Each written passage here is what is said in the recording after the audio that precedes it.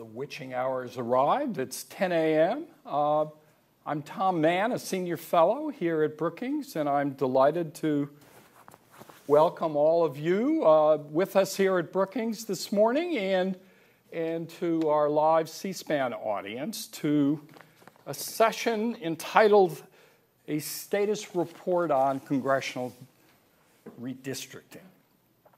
Now, you may have noticed on the screens uh, redistricting BI, wondering why that's there. We understand some of you are compelled to tweet wherever you are. And if you do, we want you to know that is the event hashtag. I know you're shocked that I actually said that, Norm, but there it is. It was written down for you, I know. I'm a well known tweeter. Uh, six months ago, we, we had a session here. It's almost to the day that was a preview of, of the redistricting uh, session. Uh, today, we're going to take stock of how that process is unfolding and with what consequences uh, we can detect, at least now. Why do people pay so much attention to redistricting? Good question. First of all, it's a fascinating game.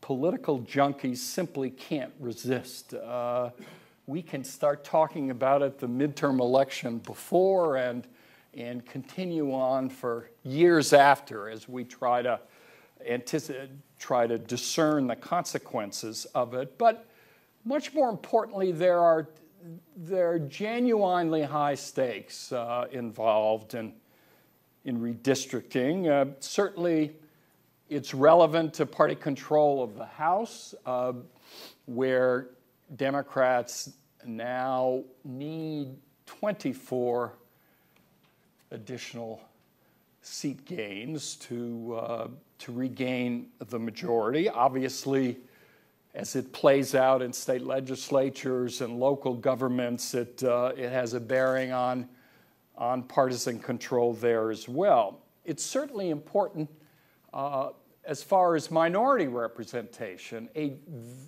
substantial majority of the population gains uh, since the last decennial census have been uh, among minorities. And the question now becomes is will those population gains be reflected in seats uh, in the House and uh, at other levels of office. Finally, redistricting has some bearing, disputed uh, to be sure, uh, not dominant, of course, but nonetheless important for competitiveness, for responsiveness, and, and for polarization. I think for all of uh, these reasons, one has to acknowledge the stakes of this process are unusually high. Uh, it's also important to reemphasize the fact that uh, uh, the U.S. is truly an outlier in the democratic world when it comes to the political control of, of the administration of elections. Uh, we won't today talk about the FEC or the EAC. Uh, we won't be talking about new state laws on voter IDs, early voting registration. Uh, all of those are caught up and shaped very much by the political and partisan struggles that exist in this country. Instead, we'll be focusing on one aspect of that, namely redistricting. I think it's also important this round because of some of the new initiatives that have been taken uh, on the redistricting process. Perhaps the most interesting and visible is, is the switch to a independent citizens commission in, in the state of California, which is uh, unfolding uh, as, as we speak. Uh, it, uh, David Wasserman, among others, has reminded us uh, how little turnover there has been in the California uh, U.S. House delegation over the last decade when we had three uh, uh, truly uh, dramatic uh, electoral swings uh, between the parties. it simply was the state of California was insulated from that process. Question becomes does that game change now? Florida passed a couple of initiatives uh, that have tried to impose some discipline on that process. Right now, the swing state of Florida has 19 Republican members of the House and five Democrats, as I recall. It may be the sharpest, strongest partisan gerrymander in the country. Will these new requirements approved uh, by the initiative process have any bearing? We also have uh, ongoing efforts to really increase the transparency of the redistricting process, and in particular, an effort to try to get citizens involved in map making themselves. Uh, we fortunately have a wonderful panel to talk about all of uh, these matters and others uh, today. Our plan this morning is, is to begin with uh, initial presentations, then we'll have discussion among our panelists, and finally, we'll take questions from uh, all of you.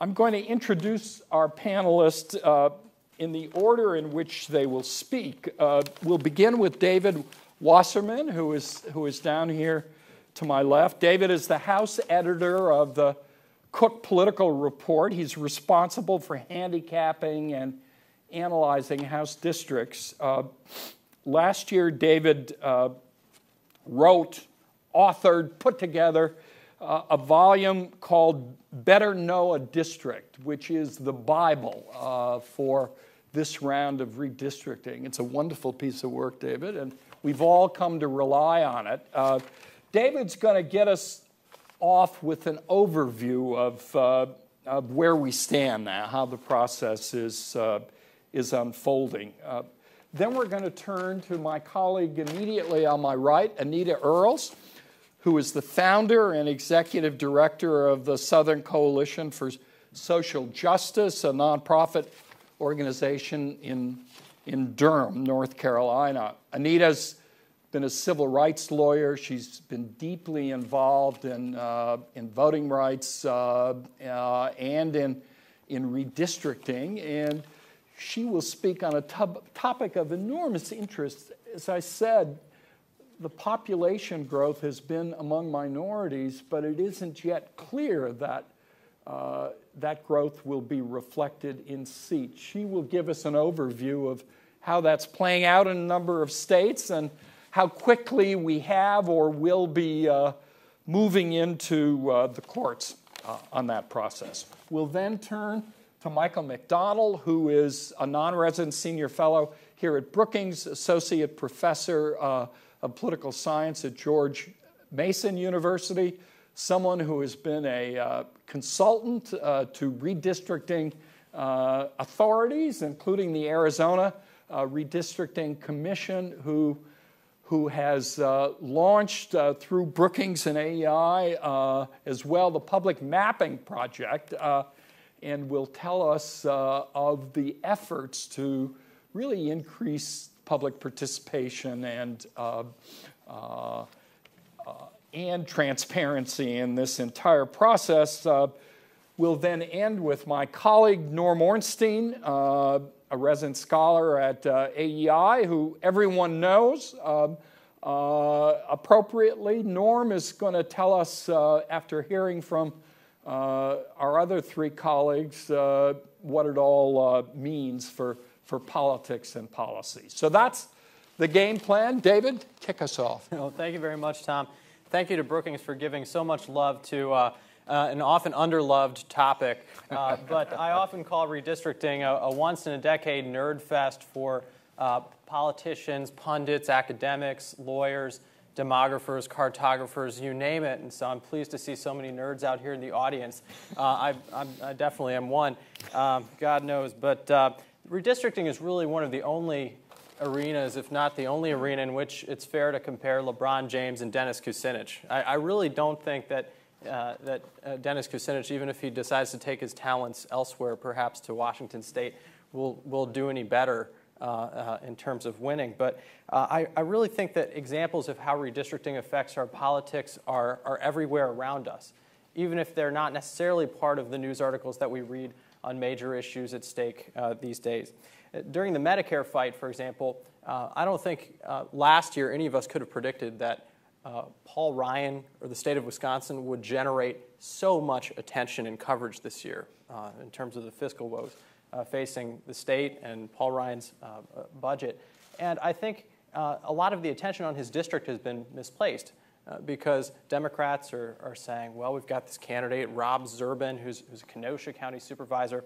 And a lot of, a lot of pundits, a lot of, of, of, people you talk to in the consulting world, very few of them uh, who are credible would, would give him a chance of, of really taking it to Paul Ryan.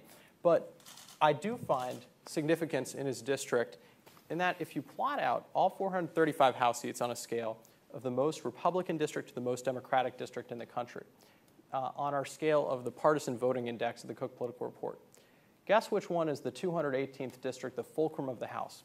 It's Paul Ryan's district.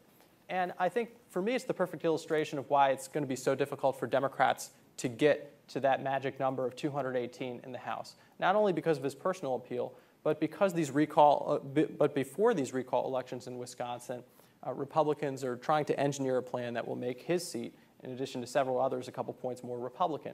Redistricting is a game of moving goalposts. And another goalpost that's moving right now is the ability of Republican leaders in the House to corral a lot of their members uh, to get behind any kind of deal uh, on the debt ceiling. Now, how does redistricting factor into this equation? Well, it's not just a, as difficult uh, to pass uh, any kind of package thanks to the line in the sand drawn by 60 members of the Tea Party caucus in the House. That's only one out of every four uh, Republicans in, in the House. But if you take a look at what's happening in redistricting, just about everyone's going to have to take on new voters. And that means that we have a whole slew of Republican incumbents in the House, beyond just those in the Tea Party caucus, who are affected uh, by taking on new voters and looking over their shoulders uh, for potential primary challenges. Uh, and I think that is, is really making it more difficult for anyone to, to break from, from a hard line on that uh, subject. But uh, today's subject is a status report on congressional redistricting. We're done in 10 states, which means we have 33 to go. Seven states don't need to redistrict because they only have one district.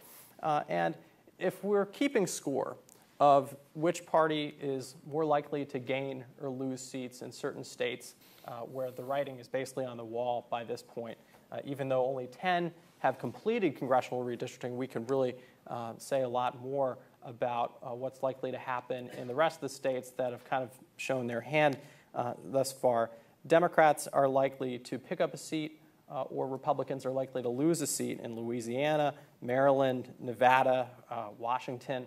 Uh, Republicans are likely to gain, or seat, uh, gain a seat, or Democrats are likely to lose a seat in Georgia, Indiana, Massachusetts, Michigan, Missouri, Pennsylvania, South Carolina, Utah, uh, and uh, I'm, I'm, leaving out North Carolina and Illinois because those are kind of the big jackpot states uh, that are really driving uh, each party's potential for, for gains. And then we I have a question mark as far as which party is going to gain a seat or lose a seat. It could be a fair fight in states like Iowa, New Jersey, and Arizona. But I'm sure the five states we'll be talking a lot about this morning, and I'll stop short from going in depth on them, are Illinois, North Carolina, which are both parties' opportunities for partisan capitalization on this redistricting. Uh, Illinois for Democrats picking up, you know, potentially five or six seats, uh, or four, four, or five seats. Republicans losing five or six in Illinois. North Carolina, where I put uh, Republican gains at possibly three seats, depending on uh, the, the, legal challenge to the map that Republicans are proposing. And then um, California, where I think Democrats, at the end of the day, will probably pick up uh, two or three seats as a result of, of the untangling of California's uncompetitive lines at the moment. Texas, uh, where you know, I expect it to either be a draw or Republicans netting two seats, depending on the legal challenges that we'll be talking about. And then the, the big wild card being Florida, uh, and, and I'm sure we'll, we'll uh, make that a, a, big part of our discussion. But there are really two ways to measure uh, how redistricting affects the big picture in the House. You can look at it in terms of the scorecard that I just went over. Which seat, if you add up all of those columns, is going to end up ahead at the end of the day? Well, I think it's going to be very, very close uh, to a wash. Uh, depending on, on Florida, I think it's possible Democrats could pick up a handful uh, from, from the process, which is surprising given that Republicans uh, earned so many state legislative chambers and picked up so, so much control in 2010. Uh, but then uh, the other side of the equation is really how much can Republicans shore up the gains that they made in 2010? And that's a, uh, a, a part of the equation that's been more difficult for a lot of us in the pundit world to quantify. But one measurement that was uh, kind of suggested at realclearpolitics.com, and, and I, I, appreciate this more than a lot of other uh, metrics that have been thrown out there, is take the median seat in the House and how far to the right does it move as a result of Republicans in Pennsylvania and Ohio and Michigan, states where they have control, shoring up a lot of the gains that they already made in 2010? I think the answer is that on balance, that 218th seat in the House, that seat that Democrats would need to win on average to pick up the majority in the House, will move two points to the right of where it is today. Maybe from a district that's two points more Republican than the national average to a district that's four points more Republican than the national average, and would probably get one or two points wider as well, because the trend we're seeing in so many states is for underpopulated minority districts to expand into the suburbs and rob a lot of very competitive suburban seats of the Democratic voters uh, that make them uh, competitive or have made them competitive in the last uh, few years. But at the end of the day, candidates and campaigns still matter. And that's why even after this process is completed, even after we have these new district lines, there are going to be plenty of unintended consequences for us to talk about uh, uh, more than a year and a half from now. So I look forward to hearing what, what others have to say. Terrific, David. Thank you for getting us off to such a good start. Anita. Well, thank you and good morning. I'm really honored to be here and want to thank the Brookings Institution for um, inviting me and giving me an opportunity to talk about um, what I've been focusing on through the redistricting process is what is the impact on minority communities. And so I want to talk a little bit about that, talk about how the legal standards are, are playing a role, but then also say a quick word about the impact of technology on the process, what we're seeing, and, and community involvement. But to start with, um, where, how are things shaping up so far um, for the interests of minority voters? It's very important to consider um, Latino populations um, and, and, look and they're, they're, looking differently than what's happening with African American populations. I think um, across the country, it's, it's fair to say that there are real concerns about the fact that the huge growth in the Latino population is not being reflected in the states where there are new congressional districts being drawn and th those populations feel that their um, voting strength is not being fairly reflected in those um, maps that have been uh, proposed and drawn. So in Texas, um, the, the MALDEF and um, several other Latino organizations have filed suit. Last count, there were five cases in state court and seven in federal court already filed um, um, challenging how the congressional districts have been drawn. Some of those claims are based on the fact that the increase in Latino population in that state wasn't reflected in the maps that were passed. Similarly, the plans that have been um, put forward in California, you, you um, may have read in the news the head of NALEO um, talking about his extreme frustration and disappointment that those maps are actually hurting um, Latino districts and not uh, reflecting the strength in that state. So I think that um, and then, so there's, with the Latino population, I think it's fair to say that they are very concerned and ready to go to court because the plans that are passed are not um, reflecting their voting strength.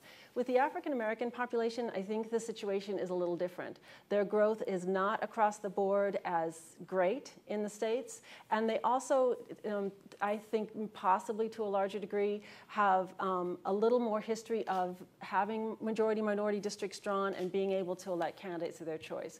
So there, I, it's harder to say nationally what's happening. A lot depends on um, what, whether they're in a state that's gaining or losing districts, which party is in control in that state, and how the Voting Rights Act works in that state. So we have covered states that are covered by parts of the Voting Rights Act and states that are not covered.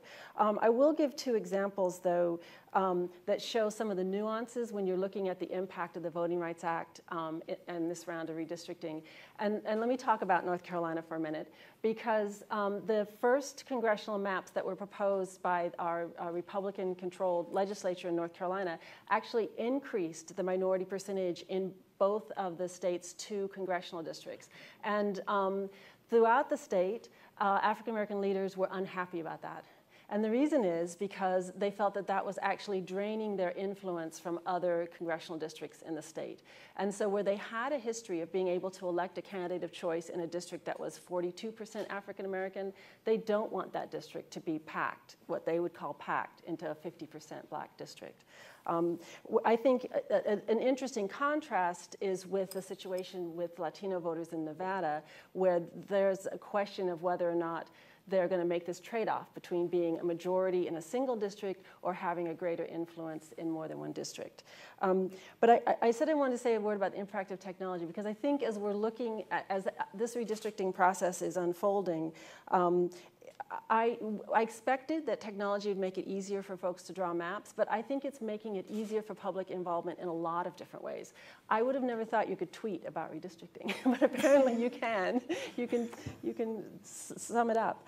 Um, but also all the websites, they not only give you the opportunity to draw maps, but to really get a lot of information about the process and to stay up to date very easily about what's happening. Um, in North Carolina, they did this process of having simultaneous public hearings throughout the state. So for the first time, you could go to one location and hear um, from citizens. I think they had six or seven different video conference sites. And so it was a very long public hearing, 3 to 9 p.m. in the evening, but they were using technology to really facilitate and increase public involvement. So my third point is about public input. And there I would say what I'm seeing is that what's most impactful is where um, you have groups coming together and trying to draw unity plans or really trying to coalesce behind a plan that um, simply having individuals submit something in the legislative process is not as much of a check on some of the excesses as when you have nonprofit organizations and groups coming together uh, behind a single plan and really working through the process. So that's something I've seen this time that I haven't seen before. Thank you, Anita. Uh, Michael.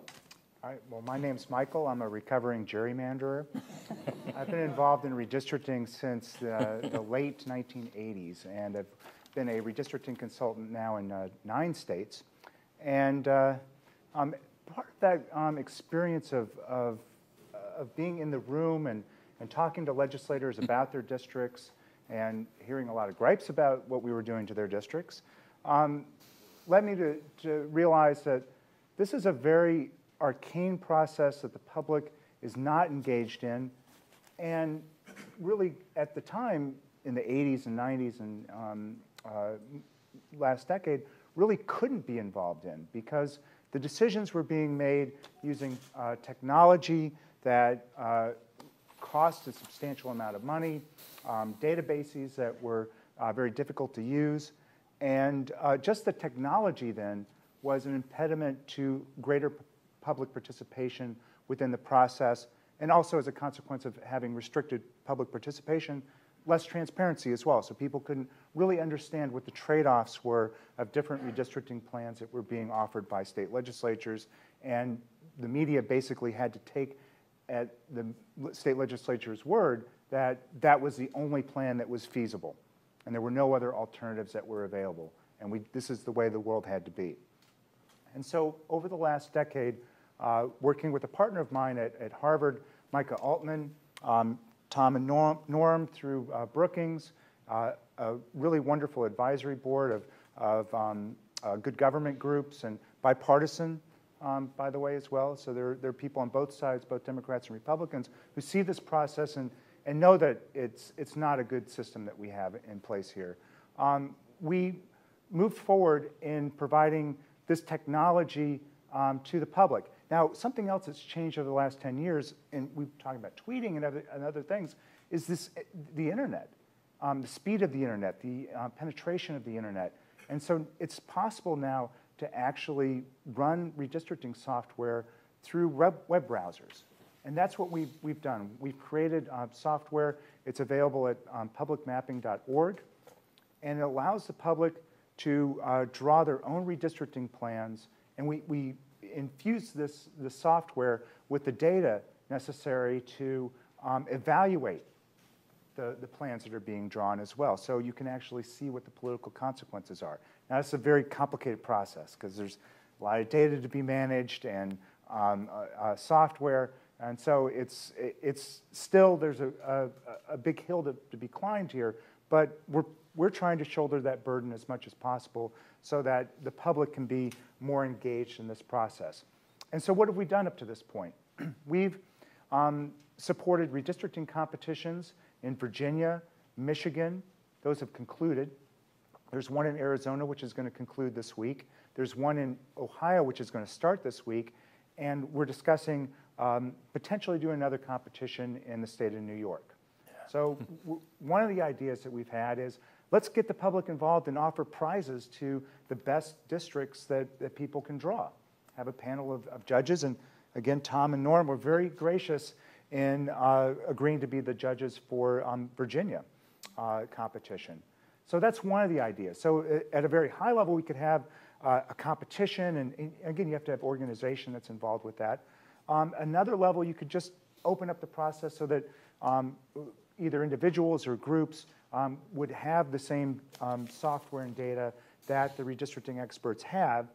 And um, we've been helping uh, groups or individuals in states like Massachusetts and uh, New Mexico, among other places, um, to draw maps and, uh, and make some advocacy efforts uh, based on the maps that they've been able to draw. So uh, lower level would be this sort of just let's open up the process and allow the public to draw some plans. what have we seen from this? Well, we've seen that it's actually possible for people to draw a legal redistricting plan. Um, at the outset, one of the criticisms that we had even before we attempted this was to say, you can't do this. Um, people, uh, uh, it's such a complex enterprise that it's not possible for somebody in the public to do it. Only experts are, um, are, have the ability and the skills to draw legal redistricting plans.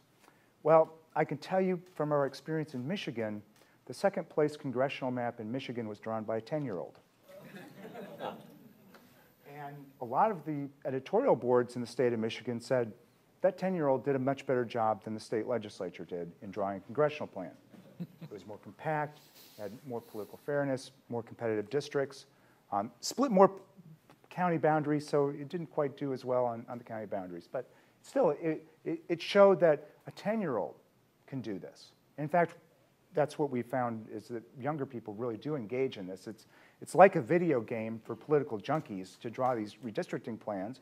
And uh, in Virginia, we had, um, uh, it was more of a student competition led by faculty members across the state. We had 15 student teams uh, at uh, 13 of the um, state's uh, colleges and universities draw redistricting plans. We had 55 plans that were drawn.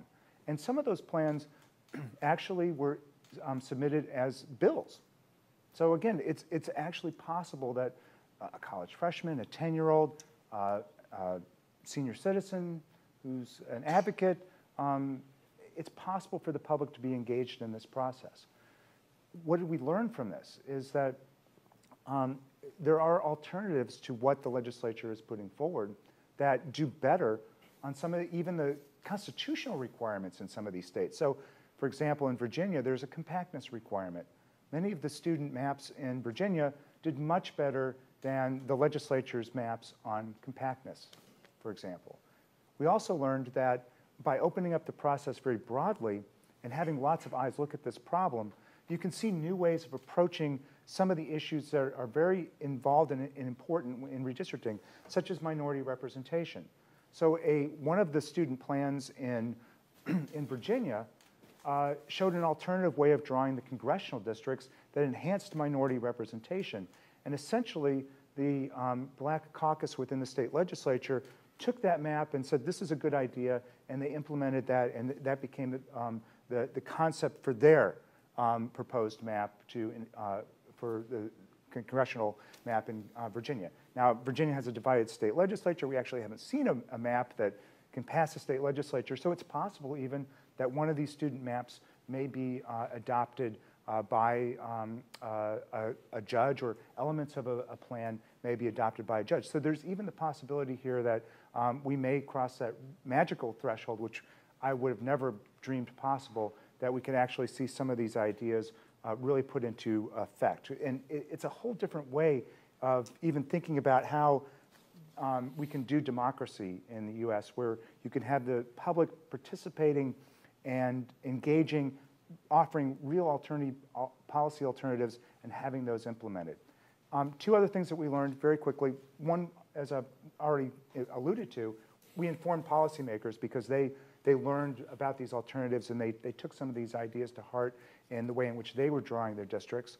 Um, and then we also educated the public quite a bit because it's one thing for the media to come and, and ask one of us talking heads about redistricting. It's quite a different thing for them to go to a student or a 10 year old and ask them about how they approached redistricting. So it, it, it, changes the story from being something about process to uh, putting a human face on it. And we've, we've had really wonderful uh, media coverage uh, of these efforts, uh, both local and national media. Um, and, um, uh, and finally, as I said, we, we, we've, we've shown that um, there's these alternatives and that, uh, that we can inform the policymaking and show that there's a better way of doing this. And as we come out of this um, experience, uh, I'm hopeful that seeing how we've, we've, we've opened up this process, that uh, we can have a real discussion about what these policy trade offs are and how we might go about implementing them um, 10 years from now. Thank you, Michael. Norm. Uh, thanks, Tom. Uh, it, has been a, a, a, real pleasure working with uh, Michael uh, and uh, his colleague, Micah Altman, uh, and Tom and I uh, had quite an experience judging those Virginia uh, plans. Tom is the Simon Cowell of. and you were? Unfortunately, unfortunately, that makes me the Paula Abdul, I guess. But I'll have to recover from that. Um, I, I want to step back a, a, bit to start and, and uh, look at or think about a couple of, uh, of bigger questions this really does become, uh, I call it more of a wonk fest, which is, I think, a better uh, characterization than nerd. Wonk, as uh, uh perhaps you know, is no spelled backward. It has a little more positive uh, connotation to it. But really, at the root of this, beyond uh, the, the, the, competitions, the viciousness, what it means for partisan balance, is a broader concept of representation. And one of the worrisome elements of the way we've been doing redistricting, uh, this was amplified uh, a few years ago when uh, Texas, under uh, Tom DeLay, uh, went at this uh, twice in a decade, um, creating a different precedent. But if you think about links between voters and their representatives, even beyond what's now become the most powerful critique of redistricting as we have it, that voters should choose their representatives rather than the representatives choosing their voters, is it becomes much more difficult for voters to develop any kind of a tie or a link to a representative when there's turmoil and uh, from one uh, round of redistricting to the next, you uh, really don't know where you're going to end up, what kind of representative you're going to have, whether you'll have the same one, and whether you're going to feel any sense of a community around you of people uh, who are represented uh, by a person because of some of the convoluted lines that are drawn. So that's become, I think, uh, a more significant problem. Uh, at the same time, it really is interesting to reflect on how the redistricting process in many ways has changed to reflect the changes in our politics. Uh, the last four waves, the 80s, the 90s, uh, the aughts, uh, and uh, now, are somewhat different from what we saw in the past. Politicians naturally always want to maximize their own advantage. In the pre permanent campaign era, the theme was much more the incumbent protection one. The two parties would tend more to get together and say, You protect your guys, we'll protect ours.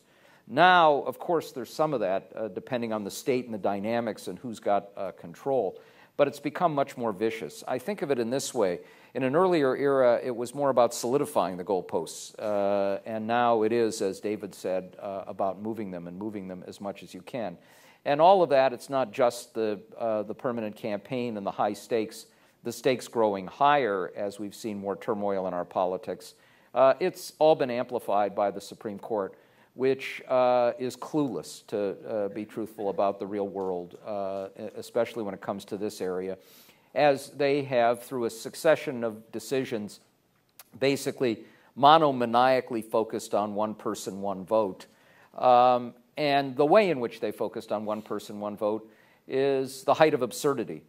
because they have rejected districts that get down to uh, a tiny number, little more than a handful of variation uh, out of 600,000 people, but all based on census data that is antiquated before the ink is dry on the census forms because of population movement. Uh, so, by doing so, especially in this era of powerful computing, they've made it much, much easier to do vengeance to communities of interest, to county and other kinds of lines, to compactness uh, and other things. And it's becoming even more absurd because, of course, from the beginning, we have drawn House district lines within states.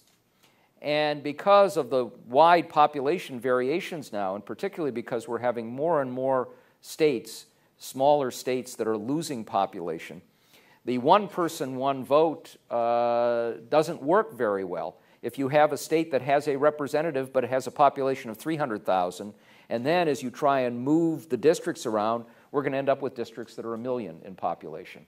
Uh, now, how you can reject a, uh, a plan because it varies by 100 people out of 600,000, but sit back blithely while you have one district that has a representative three times as powerful in terms of the number of voters as another is something that uh, only Anthony Kennedy uh, knows in his own mind, uh, I guess. But it's, uh, it adds to our challenges.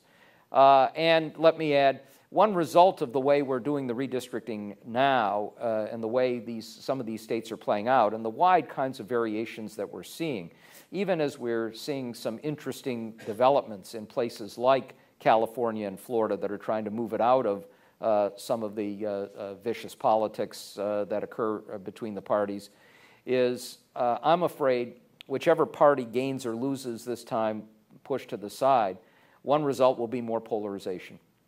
If you look, for example, at what's likely to happen in North Carolina, you've got three representatives, Democratic representatives, who are in very serious jeopardy right now Kissell, Shuler, McIntyre, all of whom are among the remaining dwindling group of moderate uh, to conservative blue dog Democrats.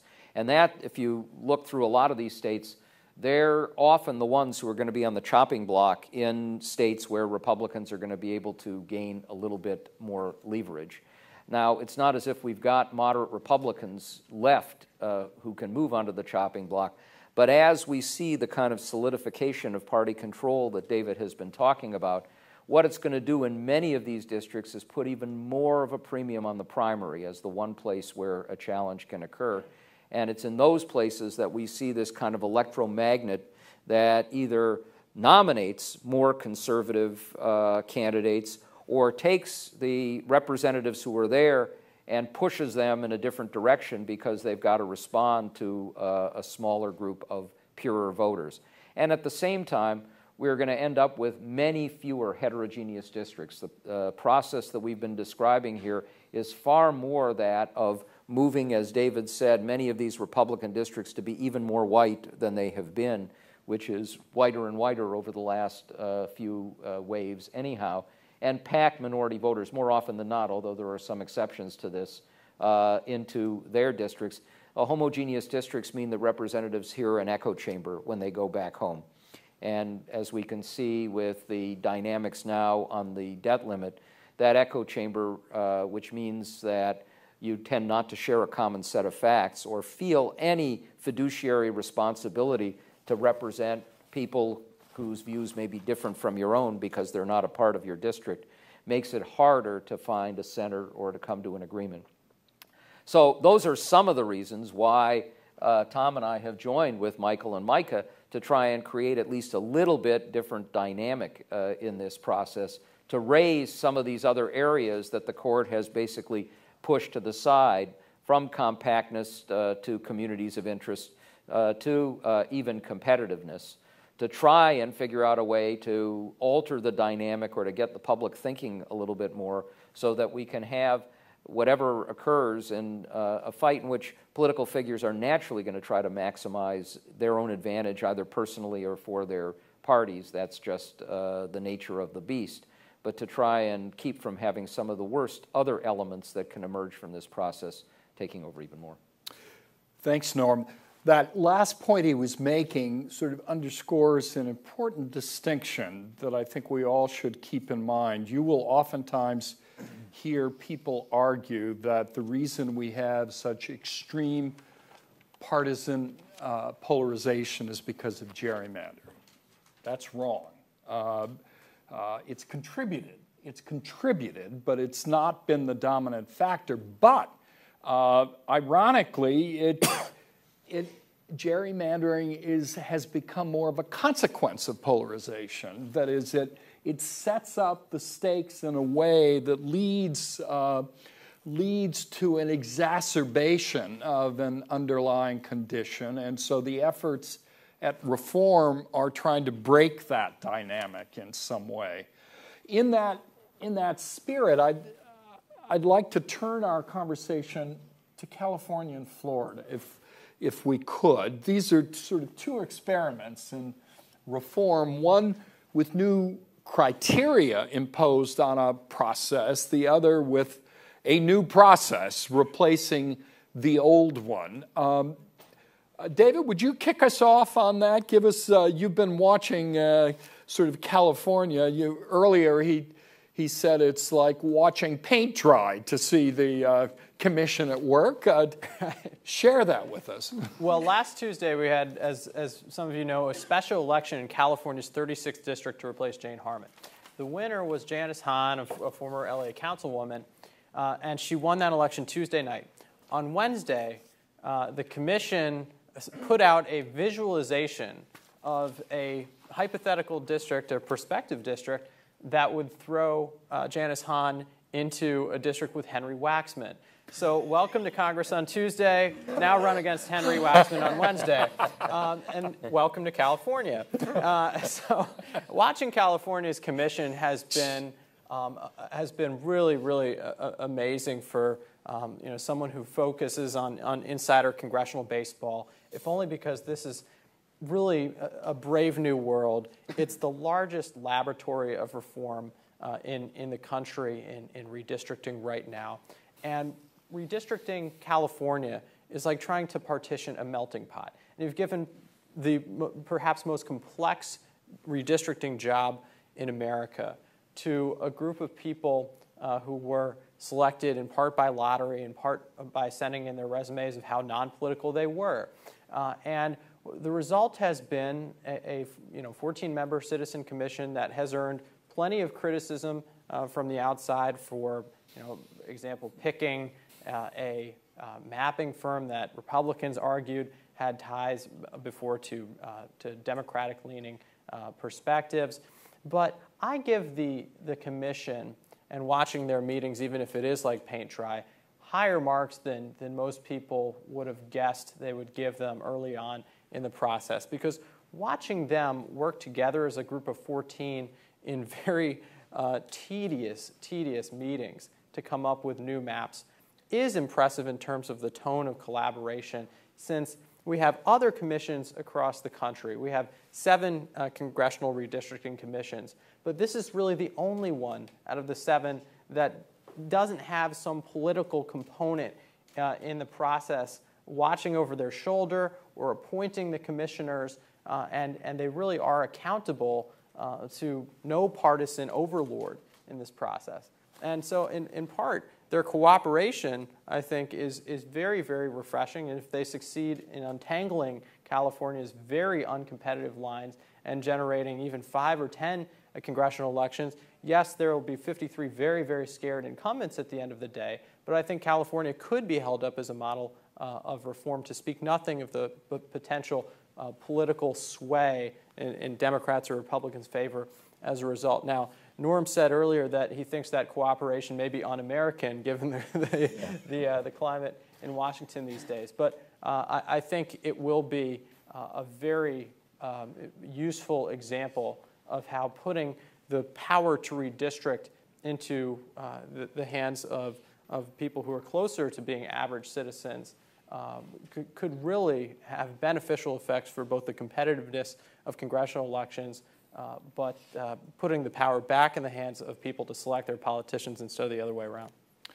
Um, Michael, do, what do you think of uh, the uh, criteria they're using in California that is uh, politically blind uh, in many respects. They don't know where the incumbent resides, presumably can't use past electoral data or party registration data. Some have argued, well, that's the way to go. Ignorance is bliss, and you know, if you don't take politics into account, it won't distort the process. Others say to achieve political fairness, you need to take politics into account.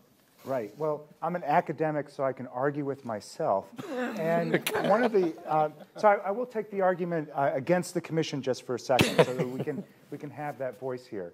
And um, what this commission is, and what David um, set up uh, by his example at the very beginning of discussing it, is that it's term limits by another name.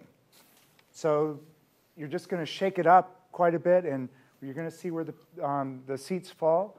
And uh, if you're lucky enough at the end of the music to be able to sit in a seat, great. You get, you get to serve another term in office. If not, well, here's your, your exit. So uh, there are people who say that if you really wanted um, uh, to, uh, to have term limits, you should have term limits rather than do it through redistricting. And they also say that these legislators um, these members best, they are the people who best know their district. And so they're the ones who are best capable of drawing a district that's going to reflect the interests of communities for um, their, uh, their districts. Now, since again, I'm an academic, I can argue with myself. the counter that I would say to that is that um, if we can just get one good set of districts that follow some good criteria, then we aren't going to have this problem again. Because if you're following political boundaries and, and respecting communities and doing other things, that's going to be the baseline 10 years from now where the incumbents are going to want the districts to be drawn. And so if we can just get over this hump once of putting in place good criteria, then I think in the, in the future, there'll be less, much less politics involved in this because it'll just be sort of a mechanical process. And this is how many other countries around the world do this. They, there's much less politics because they're just following these criteria. Now, the criteria themselves, I'm more of an advocate that if you want partisan fairness to be one of your goals, you ought to have that explicitly in your criteria, and you shouldn't just blindly say, if I'm following county boundaries or, or, or other communities or drawing compact districts, that somehow magically fairness or competition is going to emerge from that. That may not happen. In fact, there's probably really good evidence to suggest that um, if you follow these sort of neutral criteria, you get a slightly uh, Republican gerrymander in most states because of the fact that Democrats are inefficiently concentrated mm-hmm. into urban areas. So, but still, I think if you look at the case of Florida, what's likely going to happen if you do get a plan that is respecting these uh, state constitutional requirements that voters adopted in 2010. By the way, they had to get 60% majority. The, the legislature actually changed the, the bars for this, trying to avoid having this, um, these, uh, these initiatives pass. And they still got over that magic um, 60 instead of 50%. And so they put, been put into effect in a very pro-Republican year. The voters of Florida want to have some limits on what that Republican uh, legislature in Florida um, can do. And so we're going to, it's a really great experiment there to see what, if those limits can be enforced and if they can be meaningful. the one thing that we would say that why we might have some expectation, at least for the state legislative redistricting, that they may be enforced is that the state Supreme Court in Florida has an automatic review of the legislative plans. There's no governor's veto in the legislative plans in Florida. It's a, a, state Supreme Court review. And so they can look at the state constitution, they can look at the will of the voters, and they could, the, that state Supreme Court can make a judgment as to whether or not the um, state legislature did uphold to um, the standards that the voters imposed. Interesting. Anita, would you pick up on the Florida uh, case? I mean, this this has been interesting. It's one of those cases where I believe two African American members of the House really were opposed to this uh, to this change, and it reminded one of uh, of a coalition in the past of uh, of, uh, of minorities and sort of Republicans resisting creating uh, some safe majority minority districts, but in the process costing Democrats overall some districts. How is how is that played out down there? Well, there's litigation, uh, and, and um, I think that it, That's it, the American way. it is an example of, of, of sometimes uh, this quest for competition coming in conflict with the quest to fairly reflect and empower minority voters. But, but I, I would also um, lay some of this in the lap of the Supreme Court, not so much because of their one person, one vote jurisprudence, but because of their failure to implement some meaningful standards on partisan gerrymandering, yeah. which um, if they had, I mean, that's maybe one of the big differences, at least in the last round of redistricting, there was Davis v. Bandemer still out there. There was still a sense that maybe if we went too far extreme on partisan gerrymandering, a court would rein us back in. But now the court's inability to reach agreement on what a standard should be and, and that it should be implemented, has, I think, has just left um, line drawers, whether they're commissioners or, or legislators, open field to do to, to kind of do whatever they want to. And and I but what I would say about Florida is that while I think the instincts about saying this should not be partisan driven, um, I think that voters around the country will generally agree that there should be fairness um, to, to everyone, and that that kind of encapsulates a, a general sense that people have about what our democracy should embody. They didn't I think they kind of went about it the wrong way. So I think saying you have to be blind to data that's out there doesn't help. And I think they needed to be much more specific about how you meet this goal. You know, what is fairness? What measure do you use? And so there, I think the example of the one person, one vote jurisprudence is helpful. Because yes, the census is a fiction the day after it's taken. And yes, getting down to one person um, is kind of meaningless. But it's a standard. And it's clear, it's a bright line, you can follow it, and you can, you can approximate fairness fairness. And I think that in the partisan gerrymandering arena, we need to do the same thing. We're not going to find a perfect measure of what the balance should be or what data we should use, but we should have a standard that, that's clear and implementable and, and use that to constrain what. Um, what's happening. And, and I will say what's, what I see in many states is the Voting Rights Act is kind of being used um, to try to rein in partisan gerrymandering, and that's not its purpose, and it's not working very well. Yeah.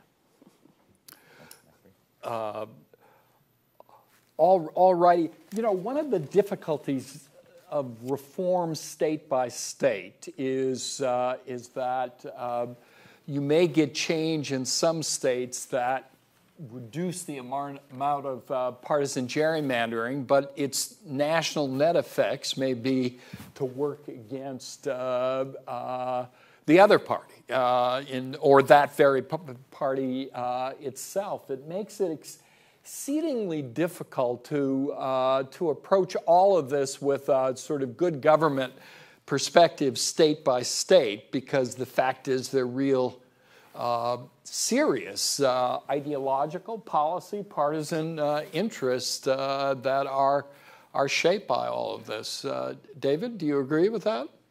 Well, I, I think what Anita just said um, about the Voting Rights Act in, you know, being used to justify um, reining in partisan gerrymandering, oh, I think in many cases the Voting Rights Act has, has actually been used as justification uh, for partisan gerrymandering. Uh, and uh, what we're seeing, at least in the uh, Democratic uh, Party, is a split that we've seen for the past couple decades, for example, between African Americans uh, and Democratic strategists who want to maximize the number of Democratic leaning seats, not necessarily the number of African American majority seats.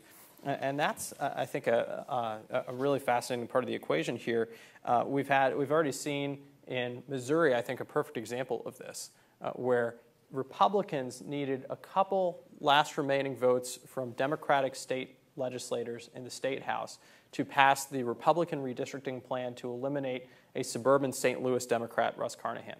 And uh, the chairman of the Congressional Black Caucus, uh, Emanuel Cleaver, uh, leaned on a couple of African American state representatives from his uh, House district uh, to vote for the Republican plan uh, so that he could get a better district on the other end of the state. And so there have been conflicts between Democratic strategists uh, in Washington and uh, African American lawmakers, and I think that's particularly going to play out in, in Florida. So when you have these instances of reform, um, it's, it's not always clear cut I think in Florida, Democrats would love to unpack Corrine Brown's House District, the third district, some used to call the Nod Wishbone, that extends from Jacksonville to Orlando, and put three Democratic leaning districts in their place.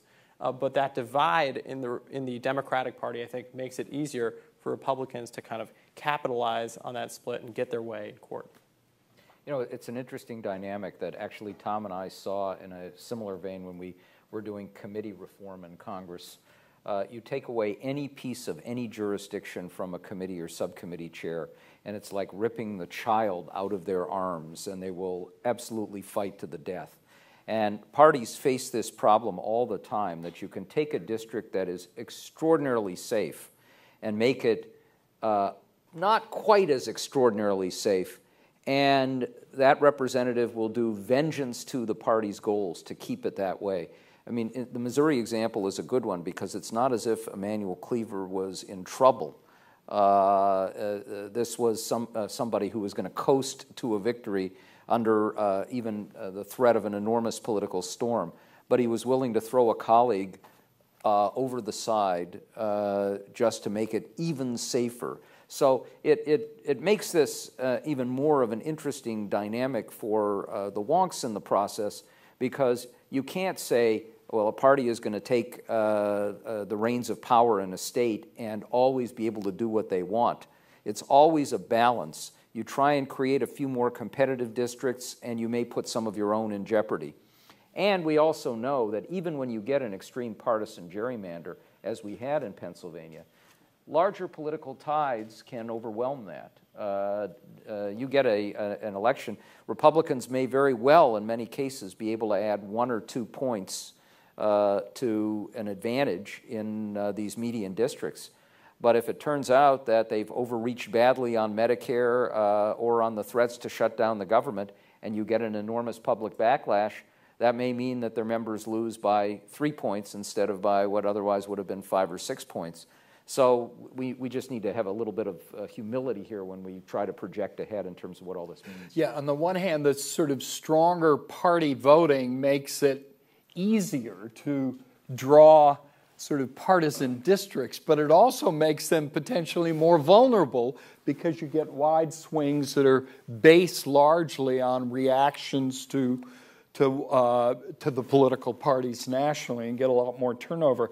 As you were talking about the Missouri case, I was thinking of just the opposite experience in Virginia, where Bobby Scott said, hey, take away some of my uh, minority uh, constituents. I, I don't have to have uh, this high a percentage, and he's already below 50%, as I recall. And he's saying you could create a second minority district with with maybe 40% uh, African American uh, constituents. So, so it, it, it, works in a variety of uh, ways. Uh, before we turn to questions for the audience, I wonder if we could have a little discussion about Texas, because Texas plays such an important role in our hearts uh, going back over time and its, its history in, uh, in, in gerrymandering.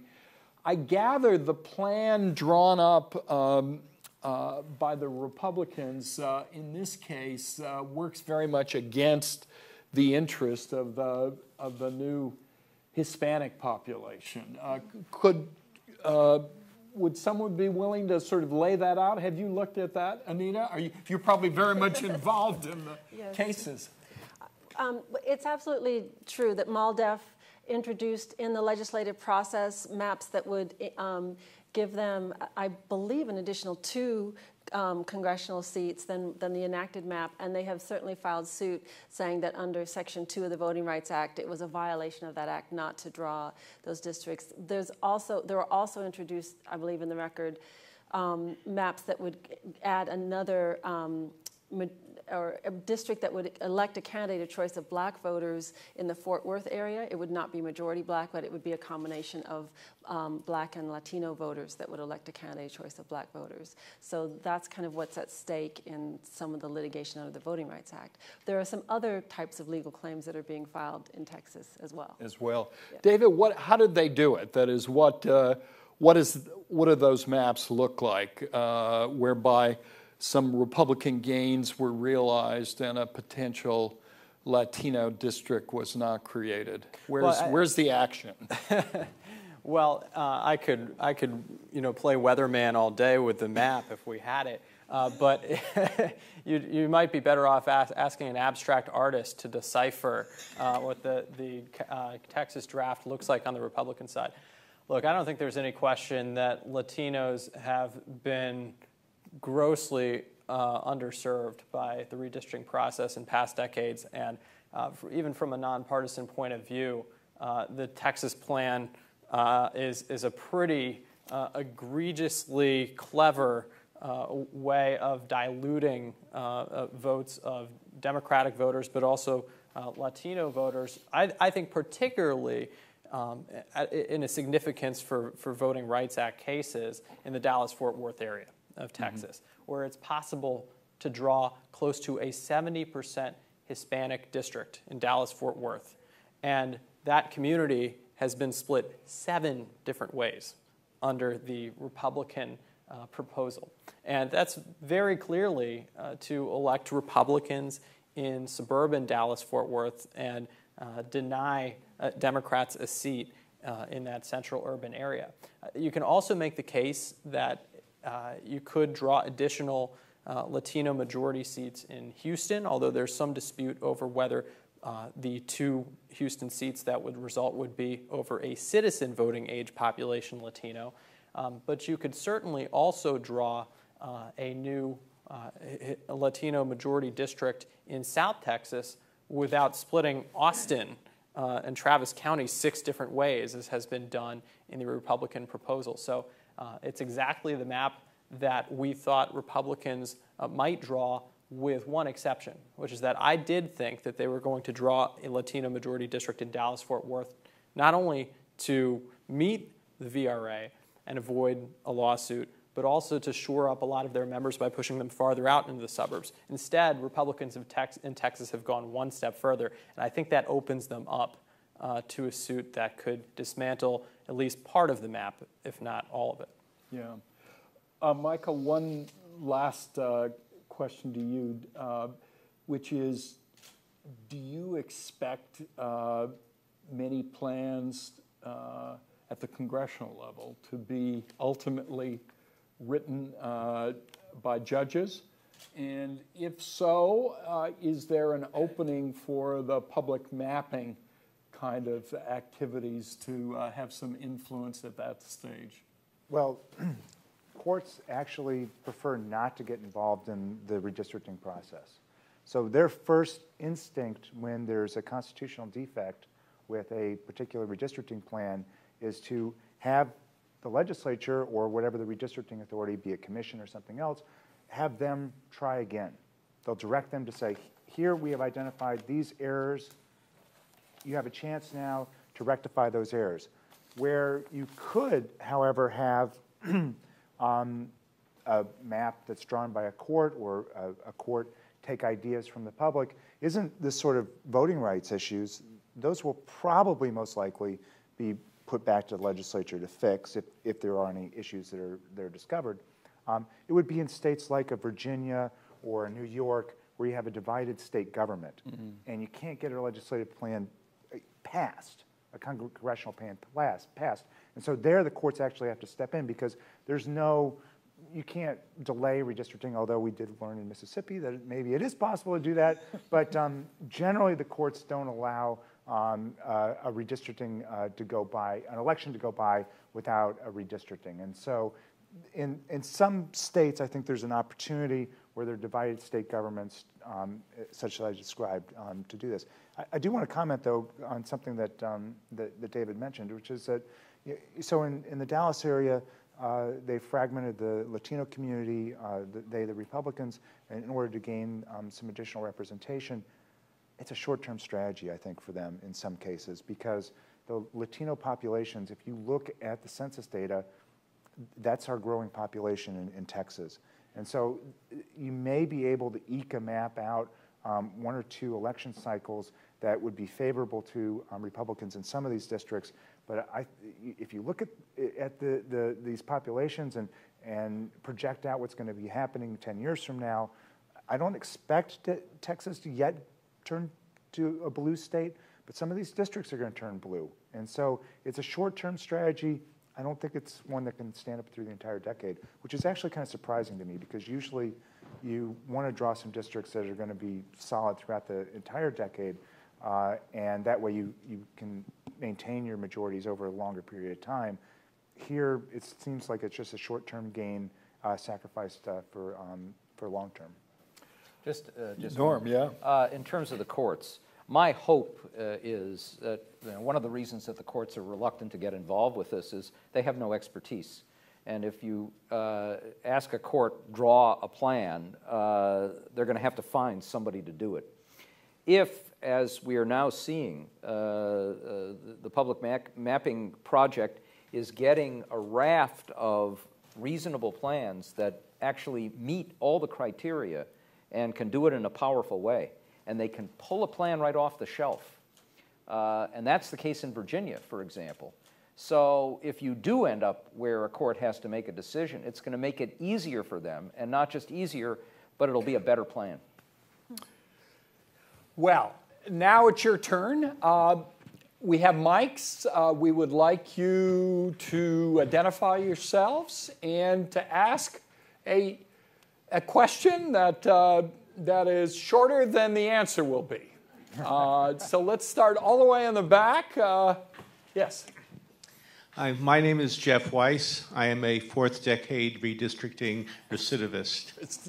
So uh, pleased to be at the Wonkfest. My question goes to uh, litigation, where this whole process is going down the road later in the decade in the courts.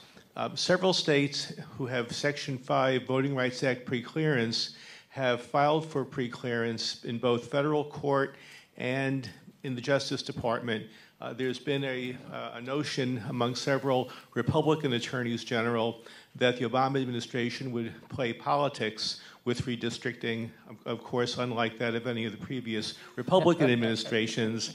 And I think the Voting Rights Act uh, will probably, coming out of Texas or Florida, uh, be the key issues over the next several years in litigation. So I guess a question for Anita or any others on uh, the politicization of redistricting or whether courts or DOJ uh, are, are better or worse or a strategic advantage? Interesting question.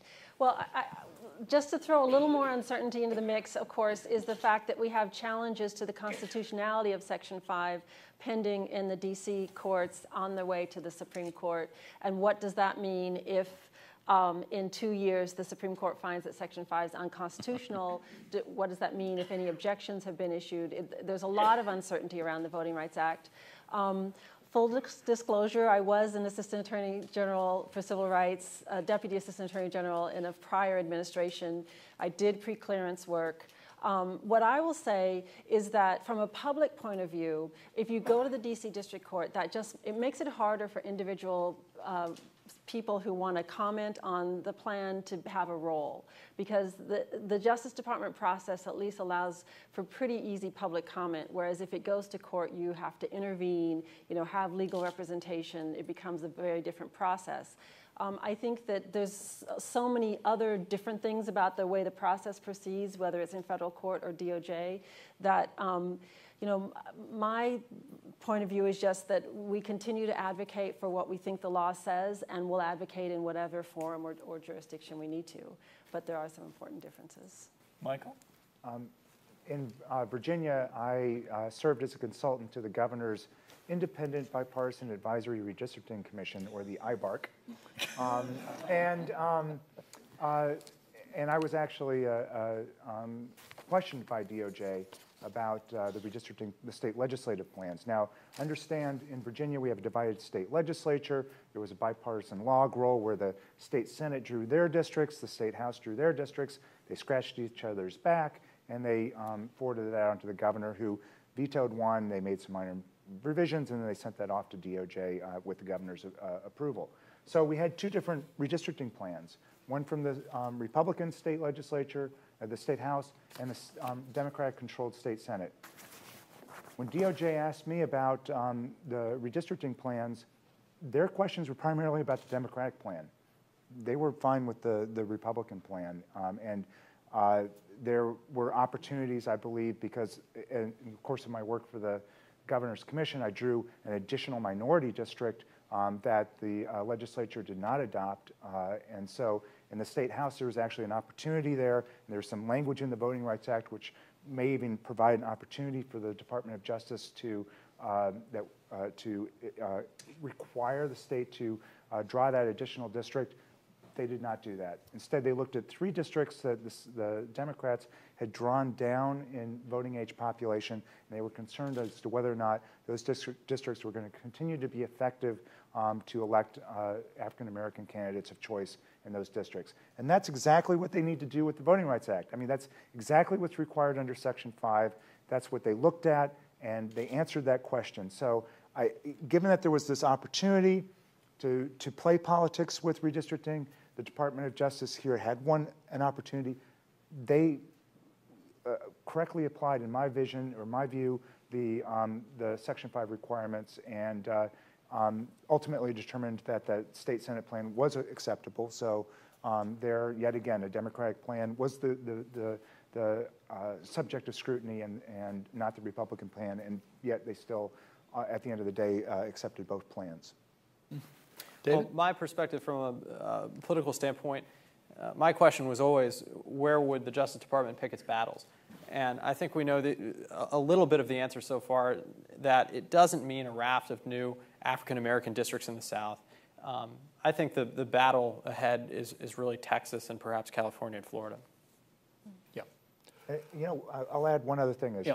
Department of Justice can file litigation under Section 2 of the Voting Rights Act. So if we are going to see politics played with redistricting somehow, it, that may be really the vehicle where we see um, the Department of Justice become active is in filing or supporting some of this litigation that's ongoing in some of these states.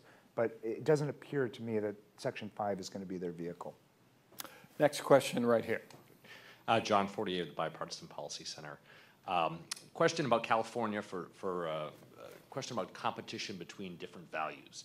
Uh, first, if somebody could weigh in a little bit upon uh, the uh, conflict between Latino voters and emerging uh, Asian voters as well, both of them looking for greater representation, having some, some conflicts in the commission. Uh, but secondly, some criticism of the commission uh, for having at least a couple criteria, one to make more competitive districts and one to represent communities of interest. Are those two, uh, certainly they're in conflict to some extent, but is the commission given enough guidance of how to resolve those conflicts? Clearly, the, Commission is going to make much more competitive lines than the last very uncompetitive map drawn uh, under another process. But might it have been more com- uh, competitive? What's the way that the Commission makes those sort of decisions as to how best to represent communities of interest, how best to represent competition? Well, competition actually is not a requirement of the California uh, Constitution.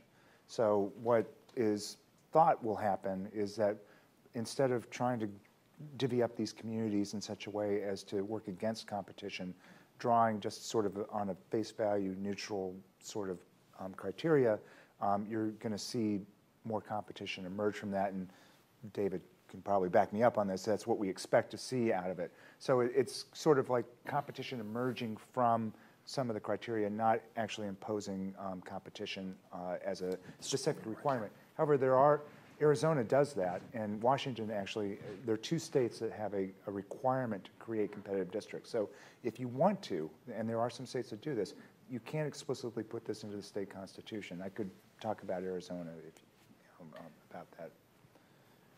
I, John, I think that's a, a, fantastic question and gets to the heart of what's facing uh, the commission these days. I think this is their most difficult job in the last month they have before they have to pass lines how do you address competing minority interests when, for example, if it's only possible to draw very, very heavily black or Latino uh, districts uh, in, in, certain areas of the state that are right next to each other, what do you do to maximize each ethnic or racial group's uh, representation?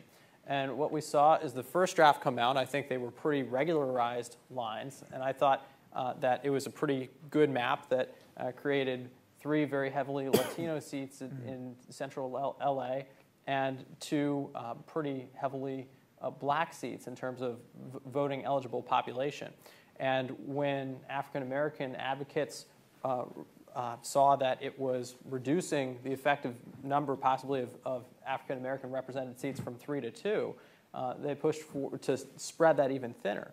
But as Latinos are growing as a larger share of the population, um, you know, under uh, regular compact lines, they ought to be receiving a higher share of, of minority majority seats. Uh, and so I thought that map was fair. And coming under the pressure of, of ethnic and racial interest groups, I think, has caused the commission, if anything, to take a step backwards since their initial uh, first draft, draft in the map. But what we're seeing is that the goal of creating very compact, understandable lines is really at odds with the goal of some interest groups of maximizing minority representation. And that's the thorniest issue for the Commission to handle in the final month. Yes, right here. Hi, um, my name is Claire. I'm a student at the University of Wisconsin. Um, and I was just wondering, I'm not really an expert on this whole topic, so sorry if this sounds like an amateur question. But um, if you said that the courts have no expertise on this issue, really, I'm just wondering what um, what could make it better, like more public input into drawing these lines, or like how could we? It sounds like there's a lot of problems. How could we improve them instead of taking them to the courts? Go to publicmapping.org. Uh, is it? We're going to issue a, a Wisconsin um, version of the software this week. Yeah. So you could draw your own districts Draw for your Wisconsin. own lines. Yes. But if, if I can just add, another process that we've been working on in a number of states is um, to make the technology available to interested community groups and have um, members of the public come and actually draw the maps themselves as a group. And so um, when we did this in the state of North Carolina, we did it um, several different days. Um, people came from different parts of the state. People in the western part of the state know their neighborhoods and their areas and know what they would like to see represented in the map. Um, people in the eastern part of the state, they know their area. And so when they came together, they did a couple of things. They understood the trade offs because there always are trade offs in terms of meeting the redistricting criteria and what interests you can recognize. Um, but they also kind of were able to, to, they, they could learn what was possible. So I think a lot of the critiques of redistricting are based on not really understanding what's possible. Like if, if you don't know what the geography and the data allows, you, you, you, know, you really can't have an effective um, role in the process or really understand whether a map is good or bad. So we actually got people involved by doing more than just coming into a public hearing or, or sitting at a computer by themselves, but really involved as a community. And actually, Anita makes a very good point, which is that um, states and commissions and their state legislatures, their version of public participation is hold a hearing and have people come to the hearing. And they, they haven't really engaged in, in, with their um, constituents to find out what do they think their communities are. And it, it's something that emerged when in the meetings that um, we did with the Virginia's um, Independent Commission um, to see people start coming out and describing their communities. we could do a lot more. We really could. I mean, uh, the technology is there, um, the opportunities are there.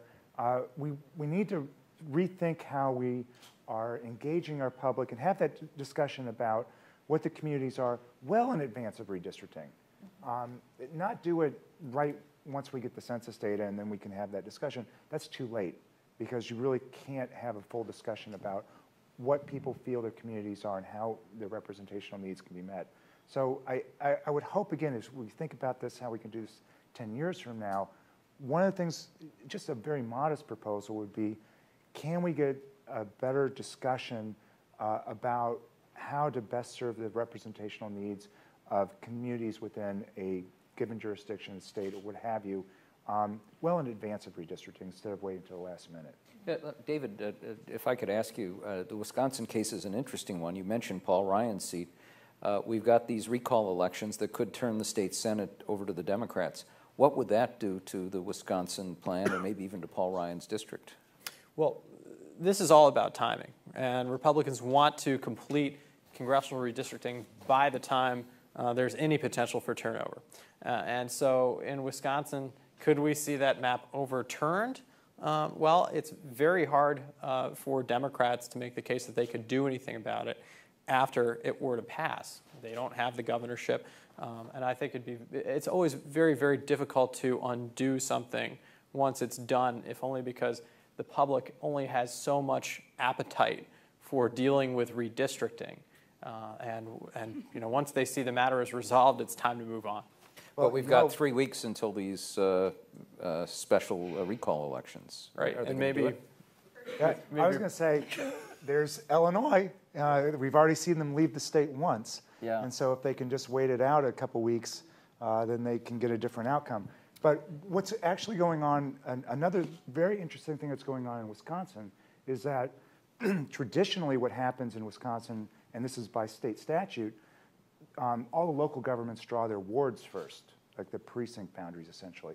And um, they do that redistricting first, and then the state draws its legislative and congressional districts out of those wards. Well, they've completely upended that process this time around. There's, in, accompanying these bills, are um, these redistricting plans are bills that change that whole process so that the state gets to move first and then the localities get to draw their precincts after, and wards after the state moves. So there's, there's a lot of opportunities there, I think, for maybe litigation or some other um, people fleeing the state, and we may yet see that. It is breathtaking to, to, to just contemplate the, the sort of political control of a process that nowhere else is. Uh, is it so controlled? Yes, right here, please. Uh, good morning. Um, my name is Carlotta Fellows. Um, I, we established a political PAC in Maryland um, based on you know the growing population, uh, specifically of minorities. Maryland is currently 45% minority, um, about 30 about 30% African American. Hmm. But I wanted to ask a question specifically to uh, Latinos because one of the questions that, or some of the uh, concerns that we're having right now with drawing maps is the, you know, utilizing the Gingles test, the jingle, Gingles test. And can you speak specifically to that, specifically among um, immigrants um, in the state of Maryland, which is, again, like many states, is the largest growing minority?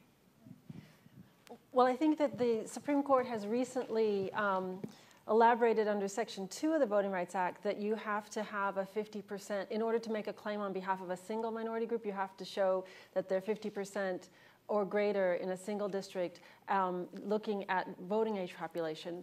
Some circuits have said that has to be citizen voting age population. There are huge um, questions around the reliability of citizen voting age data because it's not in the PL 94, it's not in the redistricting data set. So so there are questions that arise around um, are, what data are you looking at to, to, to, decide whether you have you can draw a district. But then beyond that, there's questions about um, can you justify a district if you're combining two minority groups and are they politically cohesive? And so what's the history of um, politics in the jurisdiction and have Latino citizens who are voting, are they politically cohesive with other minority groups so that you could form a coalition district or are they not? So there's a lot of actually very fascinating issues. Mm-hmm. A question all the way in the back there. Yes. Uh, Nancy Beckovac from Scientists and Engineers for America. I wanted to ask two um, raise one point and ask a question. One of the problems in the minority districts for the California group, in many of the urban areas, you have dissimilar um, minority groups cheek by jowl. For example, Koreatown in Los Angeles is very is part of the two African American congressional districts, and they are. You had asked the question about Asian groups they are very dissatisfied about that. And that's going to, that's a, a rising group that's going to be very difficult. The other thing is you are all assuming, contra the practice of Texas, that these district boundaries last for 10 years. What makes you think, notwithstanding various uh, indictments, that anybody's going to let these congressional districts go for five years if they begin to experience what you were suggesting in terms of move, uh, substantial population movements? Well, um, there are a number of states that actually have prohibitions on re-redistricting. Texas is not one of them. So, and the Supreme Court said well, there's no federal requirement for um, uh, only redistricting once a decade. It's up to states to make that determination. And so there are some opportunities in some states for re-redistricting, and it wasn't just Texas that did it over this last decade. Georgia did it, New Hampshire did it, South Carolina did it. Um, so I expect that we will see some states do a re-redistricting um, over this next, next decade, especially if we do, do see these very significant swings like we just saw. So if, if Democrats take control of a state legislature, I wouldn't be surprised if we saw uh, a Democratic plan come in and replace a, re, a Republican plan. If the uh, Republicans can take control of the state Senate in Virginia, I wouldn't be surprised if we saw a, instead of a court-ordered plan, which would be in effect for uh, 2012, to see a, uh, a, Republican plan put in place for 2014. So there are some opportunities, I think, to see re-redistricting across the country. I think probably the biggest prize will be New York if the uh, Democrats can uh, take control of the uh, New York State Senate, and I, I, think that there's a very good shot they will after this, re redistrict, this redistricting, um, that we could see a re-redistricting in the congressional districts of New York. Is that good or bad? Well, I, I think you should do just do it once, um, but good, good districts in place to begin with. Then you don't have to go back and do it again but it, it, uh, it's consistent with uh, the view in Washington, too. You take control of, uh, of a chamber of the House, you repeal laws, and uh, you don't uh, allow uh, you know, laws to be implemented in a certain way. It, it, our politics is, is, is so intensely partisan now that it affects laws that have been passed It affects redistricting uh, plans, almost uh, everything. Um, that was my editorial. Next question. uh, thanks. Um, I'm uh, Garrett Mitchell, and I write the Mitchell Report, and this question really comes right off Tom's uh, last observation and goes to something that both Norm and Tom spoke to earlier. And let me let me try to phrase it this way. Uh, it seems to me you've you've turned on its head the, the, the sort of um, conventional wisdom, which is that uh, redistricting drives polarization, suggesting that, uh, it, in fact, it may be the other way around. Our intense polarization is, re, is driving the redistricting uh, process. And, and if that's the case, my question is um, what kinds of results uh, might we expect from a sort of a more citizen driven or commission driven, i.e., less partisan driven, uh, redistricting process? Are we going to get the results that we wanted in the first place? If polarization drives redistricting, and we put more redistricting in the hands of the people who aren't polarized, what, what, what are our realistic uh, expectations in that regard? And, it, and, and along with that, if the thesis of the big sort, uh, Bill Bishop's uh, book, uh, and maybe you can talk about the eyes rolling um, yes. when you do that. If the thesis is that we are, we are redistricting with our feet, that it's about our, our, our migration uh, patterns itself, again, how does the citizen driven, commission driven, less uh, politically polarized process uh, get us the results that we're after?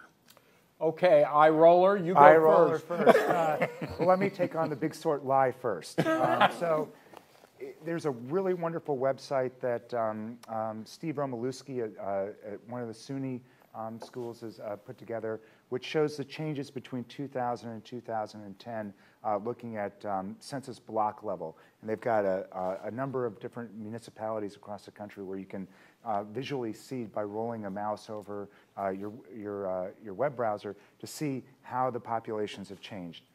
We are unsorting ourselves right now over this last decade. We are becoming more um, mixed up in terms of our race. You can see that happening um, in suburban areas across the country, even exurban areas. And it's actually it, it, complicates some of the, the voting rights issues because um, some of these African American um, voting rights districts are uh, in urban areas, urban cores. They've lost population.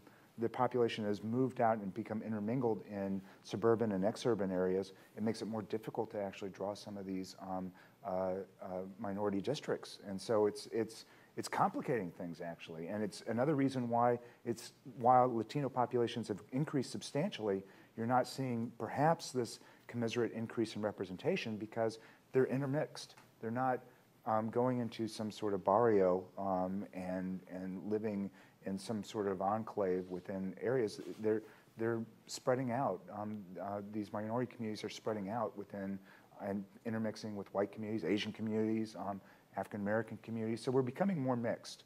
But Michael, what about political mixing? Yeah. Well, see, a lot of this is going on. The big sort is based on county level data. This is going on in very densely urban areas where most of the population lives in the country. And so, yeah, if you look at counties, yeah, North Dakota, which has like 100 people in some of the counties, yeah, they become more Republican.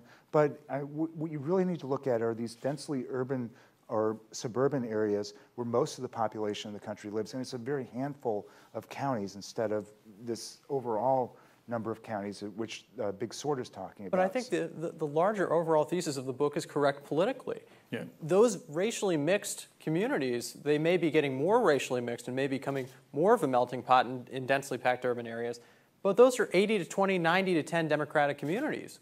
The number of marginal precincts in the country uh, is, is declining as we increasingly sort ourselves into like minded com- communities politically. And as a result, our self selection has made it much easier uh, for us to draw lines that are 60, 70, 80% to 20 for the other side. And, and as a result, we have fewer marginal districts, if, if you look at partisanship, uh, than we ever have had before. Well, two counters to this. One is you can just draw the districts and see it's fairly easy to draw mixed districts that look compact or following existing political boundaries.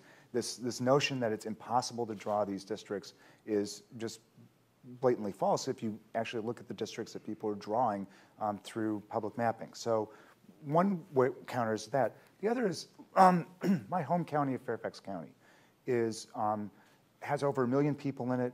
It is, uh, if it was a city, it would be, I believe, one of the eighth largest cities in the country. And um, if you look at that county, it is a battleground county now. It, it's slightly blue. It went red um, in the governor's election. Um, so it is a competitive county. And if you were just drawing districts that were respecting the existing political boundaries there within Fairfax County, you would be drawing districts that are going to be competitive. Well, it, I would argue that uh, it makes it harder. It doesn't make it impossible to draw competitive districts, but overall, the self-sorting that we've seen across the country in the last 10 years makes it harder to draw those districts. We're starting off with districts that are already sorted. So just drawing districts blindly, you're going to get more competition um, just by uh, not going overtly out like Illinois 17th current congressional district, which is a block wide and goes through Springfield, Illinois, um, picking up golf courses and well, actually, Democrats made that district three points more Democratic in the most recent redistricting. I know, but I'm just so. saying that. I mean, that's the sort of thing that you'd have to uh, okay. uh, that you can you can undo by drawing districts that are um, that are following more just regular political boundaries than doing a partisan gerrymander, because that was, you know, various political reasons behind this that. This exchange alone was worth the price of admission. But we haven't answered Gary's first question, which, you know, which is really it, it is is there a, a reasonable expectation that by depoliticizing the redistricting process in a variety of ways, the California way, the, the Florida way, the transparency and, and public map making, will that in some way counter the extreme polarization of uh, the parties in the legislatures. Well, there's something we haven't mentioned, and that's the top two uh, new new clause in California's uh, uh election laws. Uh, and Nor, maybe you'll touch on this as well. But uh, it's really luck of the draw when you have a, a commission that's blind to incumbents' residences and political data. Um, yeah, they're going to draw maybe five to 10 districts that are competitive between the parties out of 53. Now, had they done this back in 1990, I would argue it could have been 20 to 25 competitive districts. Now, even 5 to 10 is an improvement over what we would have now. Yeah. Uh, just to, to talk about the larger point, if we didn't think that it would make a difference, we wouldn't be spending our time doing this. But there's no panacea here, Gary. Um, you know, the fact is that uh, Arlen Specter left uh, his, uh, the party that he had been in for most of his life not in a congressional district, but in a state where he knew that uh, he couldn't possibly win renomination. Uh, when we saw uh, uh, Bob Bennett lose his seat, it was because of a nominating process that had nothing to do with the drawing of district lines. Uh, the fact that people now look at partisan media, listen to it, read it, and hear it, and they develop a, a sense of facts or a worldview that can be directly counter to what another group of people have, and maybe counter to the facts as we know them, uh, complicates matters in a way that redrawing drawing district lines uh, will not erase. The larger political polarization that we have has many factors attached to it. There may be other uh, magic bullets that we could try. You know, one of, uh, and I actually think the California experiment with the open primary process. We've only had one experience, which is a mixed one in this uh, uh district that was just decided in California, but it may alter the dynamic of that nominating process. I'd like to see uh, mandatory attendance at the polls so that we're no longer driven by a small sliver of voters, but that both parties' bases turn out and you can focus on voters who tend to be in the broad middle. Uh, this is no panacea, is the bottom line, though. Uh, we've run over, but we're going to have one last question from this gentleman here, please. Uh, my name's Joe Soroka. I'm from FairVote, legal intern this summer. Right. Uh, and I think underlying this entire conversation so far has been the problems with redistricting, whether or not that be exasperating partisanship or diluting minority votes. So I was wondering on a more fundamental level whether the panel could speak to different systems of doing this, whether or not that be proportional representation or, or at-large districts with proportional voting systems that might you know, eliminate the line drawing that leads to these problems that we're talking about here today. It certainly would. That is to say, there are structural changes in the electoral system uh, that you could make from straight uh, PR to multi-member districts with with some PR, uh, a variety of changes, uh, uh, compensatory systems like uh, the Germans that would take some of the pressure off the partisan manipulation of single-member district boundaries. So the answer is certainly yes. In theory, it's possible, um, and and our Constitution would tolerate uh, that, a different kind of uh, electoral system, but we have a national law in place uh, with uh, single member districts that, that is the immediate barrier to this. But I say uh, the more talk about these broader structural alternatives there is, the more informed this broader discussion will be. You don't quite completely escape, though, from gerrymandering, even in a multi-member yeah. district systems. So it still exists. It, it just has less of an uh, of an impact on uh, the elections in those countries. So it, it, it's a good one potential solution, but it doesn't quite. Um, it's not a magic bullet. There's there's no magic bullets for any of this. But I, I might say I think that it also it can potentially solve the issue of the Korean neighborhood that's in in the in the middle of, of an African American area because it um, decouples resi- you know, geographic residence from political representation. And potentially it means that there's more of a multiplicity of viewpoints at the table and possibly then um, helps with this whole issue of the polarization of our politics. So I, I think that there's a lot. Um, the, the, countries that have PR systems tend to be even more polarized than, than the US. Believe it or not, it's possible to have communist and socialist and fascist parties uh, in your system even though that's what we call some of our parties here today, there are real parties like that out there that actually have members in their um, parliaments. The only certainty t- today, I think, is that even other single member representative democracies uh, from single member districts are laughing at us right now for this very discussion. Indeed. Uh, even among that family of, of, uh, of democracies with single member districts, uh, they think the way in which we redraw our lines is absolutely crazy. Maybe that's the proper note on, uh, on which to end. Please thank Michael and Anita, Norman, and, uh, and David. Thank you all for coming.